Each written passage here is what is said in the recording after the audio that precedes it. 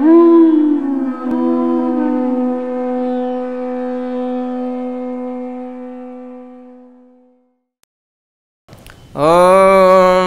अज्ञानतिमिरान्धस्य ज्ञानाञ्जनशलाकया चक्षुरुन्मिलितं जेन तस्मै श्रीगुरवे नमः श्रीचैतन्यमनोभीष्टं स्थापितं येन भूतले स्वयं रूप कदा मह्यं ददाति स्वपदान्तिकं वन्देऽहं श्रीगुरुः श्रीयुतपदकमलं श्रीगुरुन् वैष्णवांश्च श्रीरूपं साग्रजातं सहगणरघुनाथान्वितं तं सजीवं साद्वैतं सावधूतं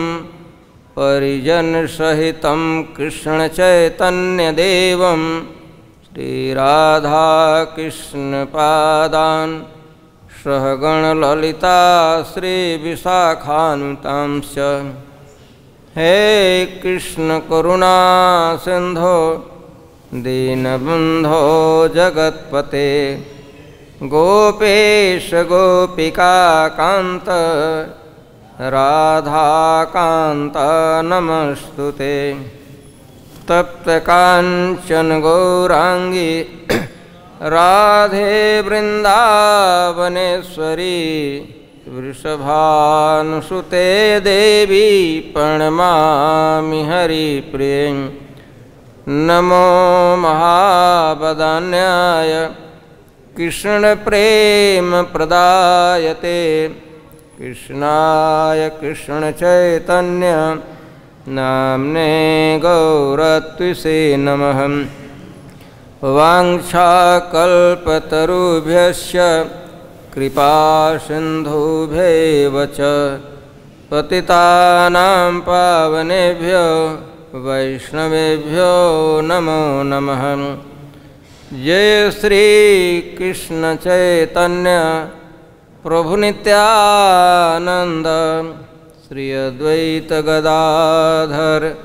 श्रीवासादि गौरभक्तवृंद हरे कृष्णा हरे कृष्णा कृष्णा कृष्णा हरे हरे हरे राम हरे राम राम राम हरे हरे ओ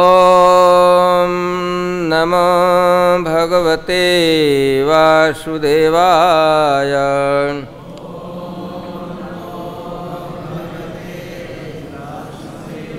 ॐ नमो भगवते वासुदेवाय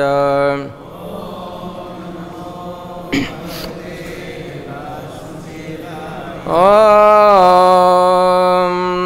नमो भगवते वासुदेवाय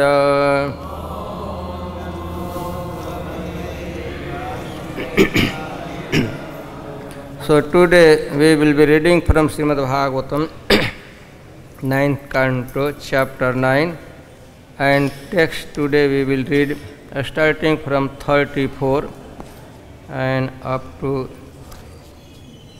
42. However, I first I will read previous verses, and since 42 verse is written on board. The repetition would be for 42 verse. So first I am going to read the, all, all the previous verses.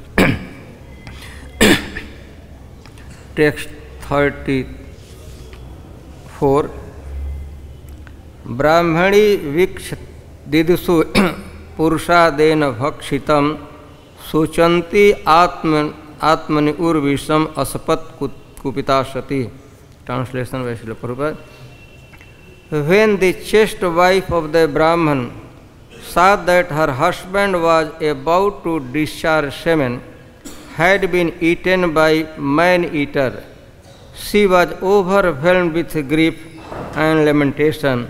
Thus she angrily cursed the king.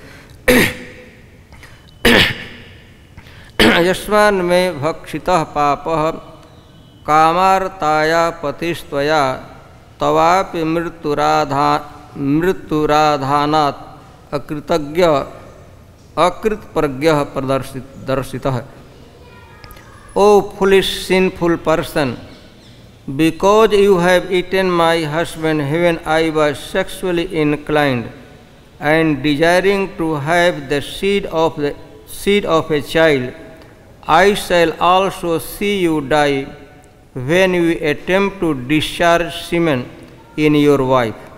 In other words, whenever you attempt to sexually unite with your wife, you shall die. evam mitra sah mitra sah सह pati lok parayana tadasthini samidhagno prapsa bhartur gatim gatah Thus the wife of brahmana cursed the king Saudas known as Mitrasaha then being incline to go with her husband she set fire to her husband bones fell and to the fire herself and went with him to the same destination thirty seven विषापो द्वादशाब्दंते मैथुनाय समुद्यतः विज्ञा ब्राह्मणी शापम महिष्या स After 12 years, when King Saudas was released from the curse by Vasishtha, he wanted to have sexual intercourse with his wife, but the queen reminded him about the curse by the Brahmanis, and thus he was checked from sexual intercourse. 38. अतः अत अत ऊर्धम सतत्याज स्त्री सुखम कर्मणा कर्मणा प्रजा वशिष्ठस्तनुज्ञातो मदंत्या प्रजा मधात after being thus instructed the king sorry after being thus instructed the king gave up the future happiness of sexual intercourse and by destiny remained sonless Later, with the king's permission, the great saint Vasishtha begot a child in the womb of Madayanti. 39. Savai sapta sama garbha vibran jagne asmano daram tasya su asmakas कथ्यते Madayanti madayanti bore the child within her womb for seven years and did not give birth. Therefore, Vasishtha struck her abdomen with a stone, and then the child was born. Consequently, the child was known as Asmak, the child born of a stone. Next. अस्मका अस्मकाद वाहिलिको यज्ञे यह स्त्री परिरक्षित नारी कवच इत्युक्त निक्षत निक्षत्रे मूलको अभवत from Asmaka Balika took birth because Balika was surrounded by by women and was there for shift from the anger of Parashurama he was known as Nari Kavacha one who is protected by women when Parashurama vanquish all the kshatriya Balika become the progenitor of more Kshatriyas. Therefore, he was known as Mulaka, the root of the Kshatriya dynasty. And then text 41. Tato Dasratas Tasmat Putra Advidas Tatah Ragya Vishwasaho Yasya Khatvango Chak Chakravatya Bhut. Farnvalika came a son named Dasarat. From Dasarat a mason named Edwid, Edwidi, and from Edwidi came King Vishwasah. Vishwasah. The son of King Vishwasah was famous Maharaj Khatwang. And then we will repeat this. Repeat after me. this was.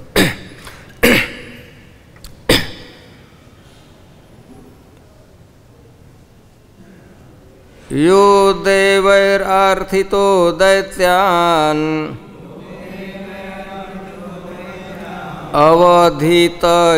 दुर्जय मुहूर्त आयुर्ज्ञात आयुर्ज्ञात्वैत्य संदधे मन यहा king किङ्खट्वाङ्ग who देव ही the Demi God's अर्थित being requested दैत्यान द डीमंस अवधित किल्ड युधि इन ए फाइट दुर्जय वेरी फियर्स मुहूर्तम फॉर ए सेकेंड ओनली आयु ड्यूरेशन ऑफ लाइफ ज्ञावा नोइंग एत्या अप्रोच्ड स्वपुराम हिज ओन एबोर्ड संदधे फिक्स्ड मन the mind translation and purport by Srila Prabhupada जय श्रील प्रभुपाद की किंग खंड king Khatvanga was unconquerable in any fight requested by the demigods to join them in fighting fighting the demons he he won victory and the demigods being very pleased wanted to give him a benediction The king inquired from them about the duration of his life and was informed that he had only one moment more. Thus he immediately left his palace and went to his own residence, where he engaged his mind fully on the lotus feet of the Lord. Purport The example of Maharaj Khatwang in performing devotional service is brilliant. Maharaj Khatwang engaged himself for only a moment in devotional service to the Lord, but he was promoted, promoted back to Godhead. Therefore, if one practices devotional service from the beginning of his life, surely he will return home back to Godhead without a doubt. असंशय in Bhagavad Gita the word असंशय is use to describe the devotee or the lord himself gives him gives this instruction मैया शक्त मन पार्थ यो योगम युंजन मदाश्रय असंशयम अस असंशयम समग्रम माम यथा ज्ञासी now hear O son of Pritha Arjun, how by practicing yoga in full consciousness of me, with mind attached to me, you can know me in full, free from, free from doubt. the Lord also instructs जन्म कर्म च मे दिव्यम एवं एवं यो वेति तत्वतः त्यक्त्वा देहम पुनर्जन्म नैति मामेति सोर्जुना one who knows the transcendental nature of my appearance and activities does not upon leaving the body takes his birth again in this material world, but attends my eternal abode, O Arjuna. therefore, from a very there, therefore, from the very beginning of one's life, one should practice bhakti yoga which increases one's attachment for Krishna. If one daily sees the deity in the temple, makes offering by worshipping the deity, chants the holy name of the personality of Godhead, and preaches about the glorious activities of Lord as much as possible, he thus becomes attached to Krishna. this attachment is called this attachment is called asakti. When one's mind is attached to Krishna, Mai Asakt Manah, one can fulfill the mission of life in one human birth. If one misses the opportunity, one does not know where he is going, how long he will remain in the cycle of birth and death, and when he, he will again achieve the human form of life and the chance to return home back to Godhead. The most intelligent person therefore uses every moment of his life to render loving service to the Lord.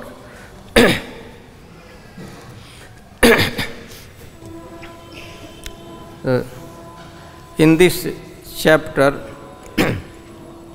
describe dynasty of Maharaj Ansuman. Ansuman came in the Ikshvanku dynasty.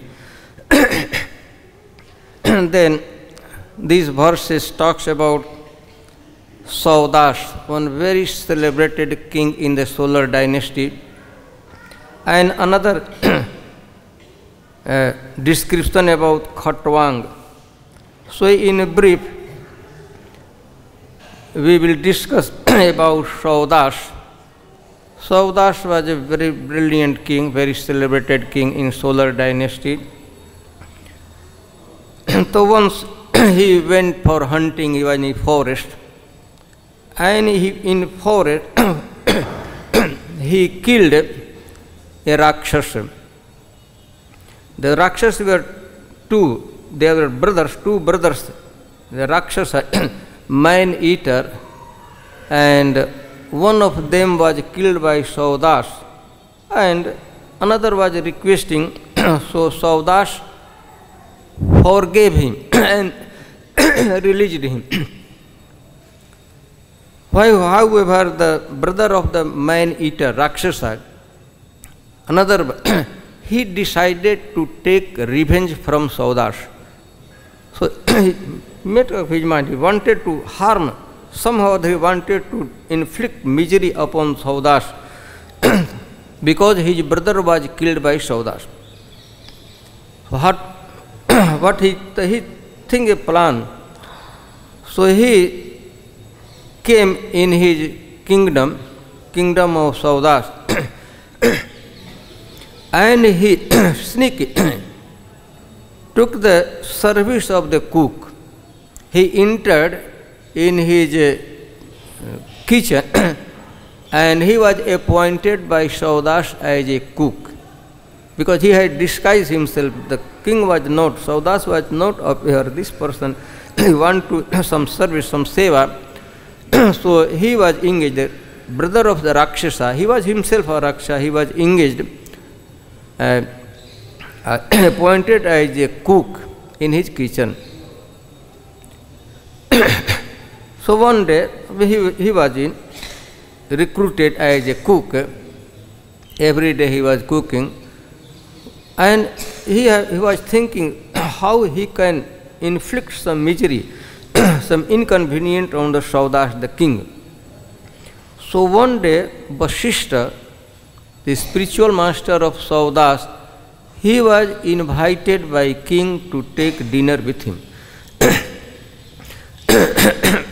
Vasishtha came and they were seated for eating. Everything was ready. Prasadam was ready in the plate in front of them. King was also there. Vasishtha, spiritual master, was about to eat. So by his mystic power, Vasishtha could understand this food is unfit to eat. Why? Because this food was the cook, Rakshasa has cooked human flesh. in that food, it was also part of human flesh. So Vasisht could understand that in this food, the, it is completely contaminated, unfit to eat because it contains the uh, ingredient human flesh Immediately Vasishtha becomes very much angry and he cursed Saudas. Saudas, you cheated me, you invited me for dinner and you are serving me this human flesh. so I curse you immediately. Without waiting any, any response from Saudas, he cursed that you become man-eater Rakshasa. and then so thus could understand what is happening. They, they found out what is what was the reason. so when Vasishtha also could understand that this is king was king was not inclined to serve me a human meat. Rather, it was done by Rakshasa, the Raksha who wanted to take revenge from the Saudas. Immediately, Saudas grabbed the feet of Vasishthaji, spiritual master, and begging forgiveness, please forgive me. And then Vasishtha's heart melted, and also he could understand this mistake was not done by Saudas. so he reduced, the, he told Vasishtha, since I have uttered a curse, so certainly you will become a Rakshasa but he reduced the duration of his being a Rakshasa. Only after 12 years, he will be free from uh, this Rakshas propensity. so, curse was reduced. Still, the reduced for 12 years. So, Saudas, in due course of time, acquire rakshas bhav, rakshas bhav samanvita, the propensity of a rakshasa, man eater. All his character, characteristic changed due to the sharp. So, due to the sharp of Vasishtha, he, was, he became a rakshasa. I mean, he always surcharged with the feeling that I am man eater rakshasa. He got acquired the propensity of the rakshasa so one day, again, he went in the forest, and in the forest,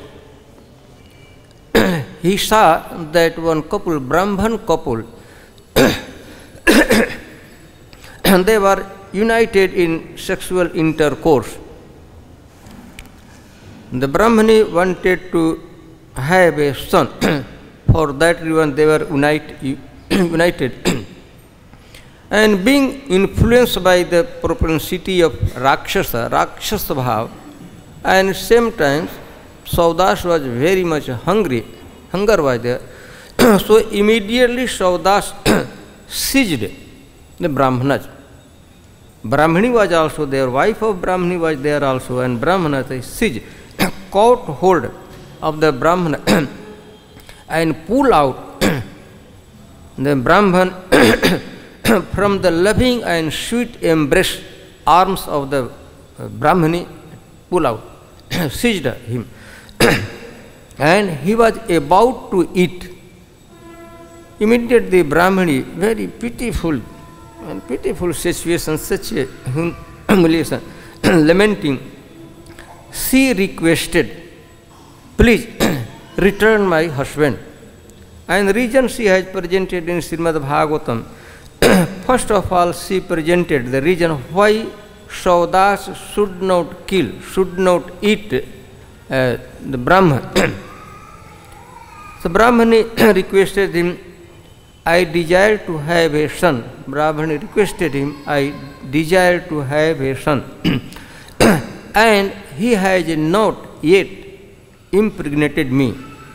I want, he was about to discharge I, I was about to receive the seed for my son, would be son. so, in this circumstances, this position, she was requesting Saudas, you please return my husband, you don't eat. And beside, again, he was, she was telling, not only my husband, he is a Brahmin, interested in spirituality, he wants to cultivate spiritual life, spiritual progress. and this human form of life, human body, not one, the human form of Akhila Arthada. All benefit of the human form, the living entity, it could be derived by the human form of life, human body. So he is a, my husband plus a Brahmin. and not only Brahmin, he is sinless. He has no any sin in his life. He is a sinless person. And also he is very much aridha issue. He has strong desire to be engaged in devotional service of Krishna. First of all, he is my husband. a Brahman, sinless person, and besides, he is very much inclined, he has developed a strong desire to be engaged in the service of, in the cultivation of Krishna consciousness, his service of Krishna. so please return, don't eat. and also, Sivachandra, you are the Kshatriya, you are supposed to protect the brahmanas all citizens including what to speak of brahmanas and besides if really you want to eat him better you eat me first be, be, because without my husband without this brahman i am as good as dead body and i will not live for a moment with but the Saudas was being influenced by the propensity of Rakshasa right in front of Brahmani, his wife. he ate the Brahmana there. And immediately Brahmani also in return, she also uttered a curse.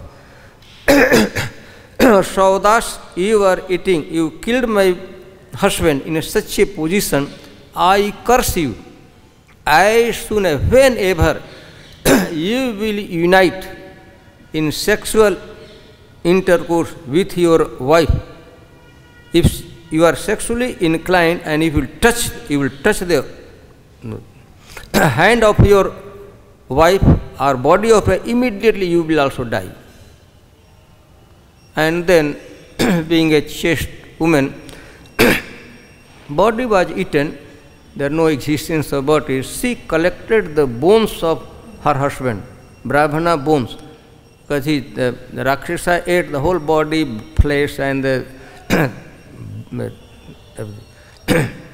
Rakta blood was eaten, but bone was remaining. She collected the bone of her husband, Brahmana, and prepared a funeral pyre, and she set the fire in the she set the fire and also she entered in the flames of the fire and thus she achieved the highest perfection she returned to her husband he also got, she also got the same destination as his as her husband and then it is also description further verses talks about after 12 years the Saudas was free from the kar.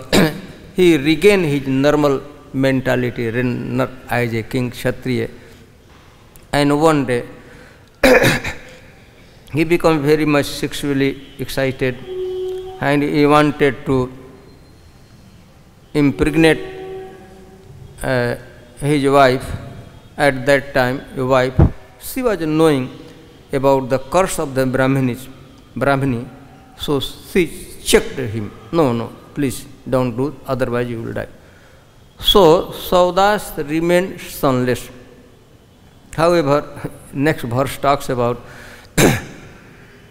because the whole dynasty was in the, the khatra, danger, going to discontinue.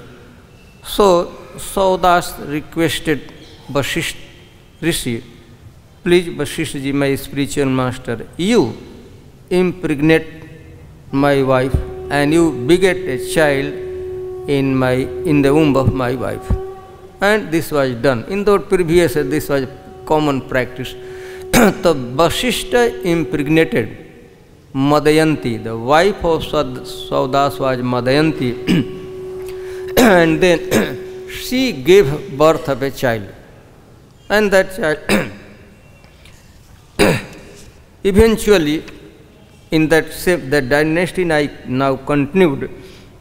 Same in same dynasty, one king, his name was Vishwasaha. The Vishwasaha begot one child, one son in the womb of his wife, and his name was Khatwang. Khatwang. Khatwang was the son of Maharaj Viswasah. The Khatwang here, this verse talks about glorious situation of Khatwang. Yo devai arthitah. Once there was fighting was going on between demigods and demons in heavenly planet. and demigod could realize that they are going very soon they are going to lose the battle so they came on earthly planet that time Khatvanga Maharaj were ruling earthly planet and his capital city was Ayodhya from there he was ruling the whole plan the earthly planet they were अर्थितो demigods came from heavenly planet on the earthly planet Ayodhya in front of Maharaj Khatvanga and they requesting praying please help us the demons are harassing us. We are going to lose every our position, heavenly planet, even our life. So please help us. So when Maharaj Khatwang was requested, he left the kingdom and went to the heavenly planet and he fought on behalf of demigods and he became very much victorious. then the demigods become very much obliged, grateful to the king, because due to Maharaj Khatwang, they were they got the life, their survival as well as all the position of heavenly planet. so they become very much grateful and they wanted to give him benediction, any benediction. Of course, in the beginning they told Maharaj Khatwang, besides mukti, liberation, liberation, anything and everything we can give you. Please ask. Don't hesitate to ask anything. and then before asking any benediction, Maharaj Khatwang requested, please tell me about the remaining duration of my life, how long I am going to live. and then demigod collectively they meditated and they came to know and they inform like Maharaj Khatwang, we are very much sorry. Re remaining duration of your life is only for a moment, muhurt, short time. So immediately Maharaj Khatwang, if I am going to survive only for maximum 48 minutes, that's all. remaining duration of life some here description but दो muhurta two muhurta one muhurta is approximately twenty two and half or maximum up to twenty four minutes the earth is this is for one muhurta so two muhurta means forty eight or forty five minutes immediately sir कि no no बस finish I am not open for any any conversation, any discussion, please arrange an airplane. This conversation was taking place heavily planned. Please, I want to reach on earthly planet. I want to go on the bank of Sarju river there. you immediately arrange some, some the, the plane should be, the speed should be like speed of mind. And the demigod did the, the Maharaj Khatwang came earthly plant on the bank of Sarjuriya meditated, engaged him whole, all with all sincerity and humility in his command, he engaged himself, himself in the devotional service of Krishna, meditating, hearing, chanting, whatsoever. and after 20, after 48 or 45 minutes, another plane came from Vaikuntha and Maharaj Khatwang boarded in that plane, plane and went to Hevel, uh, the spiritual planet. this is the Deva Arthita. Srila Prabhupada talks about uh, uh, the human form of life is meant for self-realization. So, example of Maharaj Khatwang is very much brilliant. And for a very short time, he engaged himself, Khatwang Maharaj, in devotional service, engaged himself completely in devotional service of life, and he got the highest perfectional stage of life, Krishna Prem. He entered in spiritual planet. so Srila Prabhupada in this purpose talked about how we can become, how we can make ourselves qualified how will become eligible to enter in spiritual planet for that we must develop attachment asakti for krishna once we have developed asakti attachment for krishna then we can reach there asakti attachment And then Srila Prabhupada quotes very celebrated verse from seventh chapter of Bhagavad Gita, Maya Shakt Manoh Partha. if someone has developed attachment, he has fully, his, his mind is fixed in me, and he has developed attachment for me, or sansayam, without any doubt, and samagram, completely he can know me, he can understand my position in complete, in fully, fully he can understand me and without any doubt. and if someone can understand, know me completely without any doubt, then Prabhupada quotes the further verse from Bhagavad Gita. Krishna talks about जन्म कर्म चमे दिव्यम एवं यो वेति तत्वतः त्यक्ता देहम पुनर्जन्म नैतिमा मेति सोर्जुन if someone understand my janma my appearance and my karma my activity my लीला जन्म कर्म च दम मे दिव्य all my janma and karma this transcendental platform दिव्यम एवं यो वेति तत्वतः if someone understand fully completely without any doubt my nature my activities my appearance and my leela then that person becomes eligible to entered in the spiritual planet so Prabhupada talks about developing asakti unless and until we develop asakti attachment for krishna there is no question of entering spiritual plan so how we can develop this asakti rup goswami talks about asakti adau shraddha there are nine different stages nine or seven adau nine or seven आदो श्रद्धा ततो साधु संग अथ भजन क्रिया अनर्थ निवृत्ति निष्ठा रुचि आसक्ति bhava and asakti pray nine stage so Krishna Rupa Goswami आदो श्रद्धा in beginning we should have some faith shraddha when Sardha is there, then we must associate the saintly person. If Sardha is there, the association of sadhu.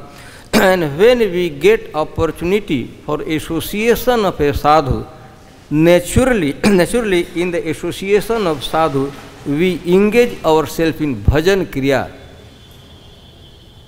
execution of devotional service. and once we engage our self in devotional service in the association of saintly person then ततः anartha nivritti all our anartha unwanted thing we become free from all anartha unwanted thing and once the unwant anartha nivritti we are free from anartha then we get nishtha firm step we establish ourselves, Nishtha. and from Nishtha, when we raise ourselves onto that platform of Nishtha, then we developed a certain type of taste that is called Ruchi. In devotional service, Ruchi, taste in devotional service, taste in hearing and chanting, all the processes. we must develop a taste, Ruchi, and after ruchi comes ashakti, which is called attachment Srila Prabhupada talks in this purport about ashakti. so if someone is interested is serious about making substantial progress in his spiritual life if he wants to enter in spiritual planet he must come up to that platform ashakti. And when asakti, attachment is there for Krishna, we develop asakti or attachment for Krishna, then comes bhav. Their higher stage is bhav. And after bhav, when bhav becomes mature, and then we come to prema. This is called prema. And Krishnadas Kaviraj Goswami talks about Krishna prema, eita param phala param purushārtha. यार आगे तीर्ण तुल्य चारी पुरुष so that is prema तो these are nine stage Shri Prabhupada here talks about seventh stage that is call asakti and also Rupa Goswami talk sadhaka नाम अयम प्रेम प्रादुर्भावित भवित क्रम usually generally naturally this this becomes the sequence in this pro- this becomes the sequence means if someone wants to develop asakti before asakti he must develop ruchi before ruchi he must come up to nishtha level before nishtha he must come to anarth nibirti and before anarth nibirti he must come to the platform of bhajan kriya and this bhajan kriya we can engage ourselves in bhajan kriya only by the mercy of by the association of a sadhu. And we get sadhu due to sradha. You must develop that. So these are, so Prabhupada in this purpose talks about, we try our level best to develop attachment uh, for Krishna. The most intelligent person, therefore, uses every moment of his life to render loving service to the Lord. So here about Maharaj Khatwang, though he has very little time, but in very short time he got the highest perfectional stage of life. Krishna Prem. So when the, he was requested, Maharaj Khatwang demigod re requested, please come and help. So Maharaj Khatwang went to the heavenly planet and uh, when Maharaj Khatwang uh, became victorious, they, uh, they won the battle and then demigods become very much grateful to him. They wanted to give him benediction. Before asking any benediction or boon, Maharaj Khatwang wanted to know the remaining duration of his life. And as soon as he came, that I have really, really very short time, so every single moment, what were remaining single moment he used in the service of the Lord. so here also this is concluding.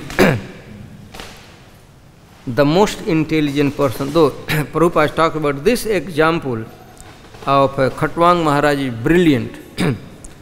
so the most intelligent person therefore uses every moment of his life to render loving service to the Lord. So this is real uh, in briefly description about Maharaj Khatwang, how Maharaj Khatwang got highest perfectional stage of life, Krishna Prem, in very short time. They are in history that, that, that many person they got perfection in short life, short duration of time. One of them is Dhruv Maharaj. Dhruv Maharaj got highest perfection. He took save six months. Within six months, in six months he got he was able to see Lord face to face. So here I stop if any comment or question.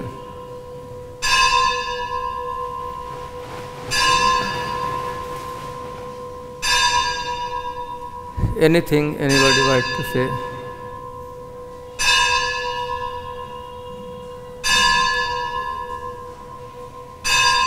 Okay, Prabhu. So here I think you have to use this mic.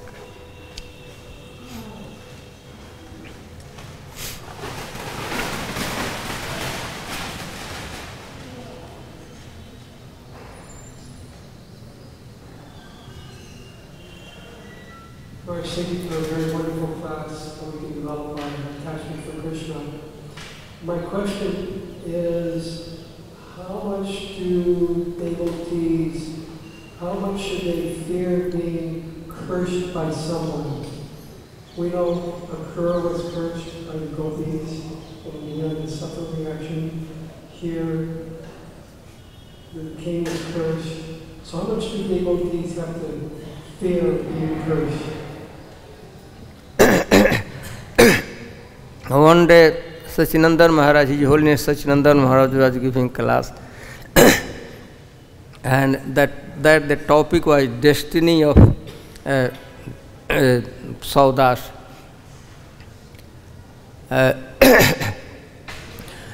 by our own effort we can make substantial progress in spiritual life it is very weak so we must seek the blessings of a saintly person sadhu kripa without the blessing of a saintly person, we will not make any progress.